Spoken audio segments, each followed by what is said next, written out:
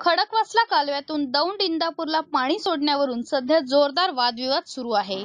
पालकमंत्री गिरीश बापट यांच्या विरोधात सर्वच स्थानिक पक्षांनी पाणी सोडण्यासाठी विरोध दर्शवला आहे.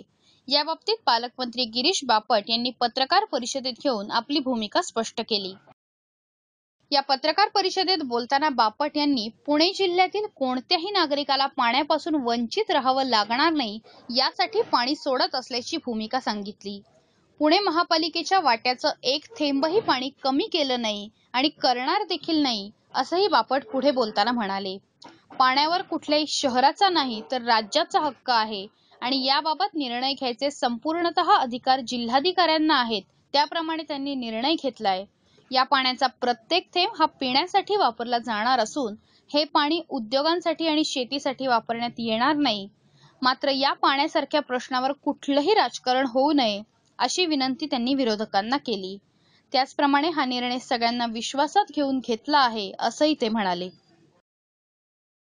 पुणे शहरातल्या पाणी टंचाईच्या संदर्भामध्ये माननीय कलेक्टर आणि कपोले साहेब यांनी काल सगळी माहिती दिली.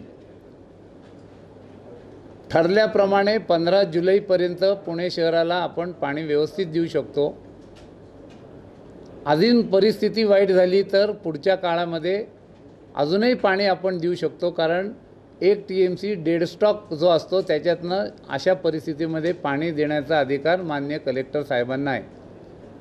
त्यामुळे पुणे शहरातलं आत्ताच्या नियोजनाप्रमाणे कुठलंही पाणी एक थेंबही कमी न करता जिल्ह्यातल्या दौंड आणि इंदापूरला जे पाणी सोडलं ते तिथं असणारी तीन लाख लोकसंख्या आणि जनावरांचा प्रश्न ह्यामुळे हा निर्णय जिल्हाधिकाऱ्यांनी घेतला पण तो सगळ्यांशी चर्चा करून घेतला आणि पाण्याला पिण्याच्या प्राधान्य असल्यामुळे तो निर्णय घेण्यात आला. आजपर्यंत झालेल्या सगळ्या बैठका या स्थानिक आमदार पुणे महापालिका आयुक्त महापौर यांच्याबरोबर घेतलेल्या आहेत. त्यामुळे मी कुठलाही निर्णय एकटा घेतो असं नाही. खरं तर मी निर्णय घेतच नाही जिल्हाधिकारी निर्णय घेतात पण सगळ्यांना बोलवून घेतात.